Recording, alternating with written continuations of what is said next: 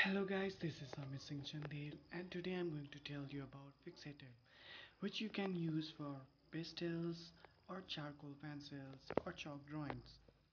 So basically मेरे पास तीन charcoal हैं लाइक ये है फिक्सेटिव्स के साथ और ये है विदाउट फिक्सेटिव तो जब आप फिक्सेटिव नहीं यूज़ करते हैं तो अगर आप फिंगर से इसको रब करते हैं तो पूरा का पूरा चारकोल आपके हाथ में आ जाता है ड्राइंग ख़राब हो जाती है तो इसको अवॉइड करने के लिए आप ड्राइंग फिनिश करने के बाद फिक्सेटिव अप्लाई कर सकते हैं। इससे आपकी ड्राइंग प्रिजर्व रहेगी और ज़्यादा लंबे समय तक आप उसे प्रिजर्व कर सकते हैं।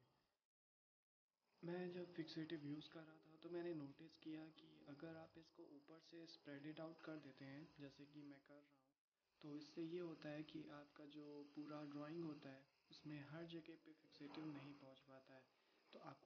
कि फिक्सेटिव यूज़ हो गया है, लेकिन एक्चुअली में फिक्सेटिव यूज़ नहीं हुआ होता है। जैसे कि मैं दिखाता हूँ आपको कि कहीं कहीं पोर्शंस में फिक्सेटिव नहीं यूज़ हुआ है। जैसे नीचे के पोर्शन में थोड़ा सा यूज़ हुआ है, ऊपर रह गया है।